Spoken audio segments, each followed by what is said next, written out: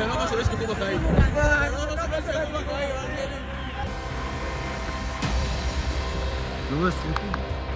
תראו אנשים מקבלים יריות.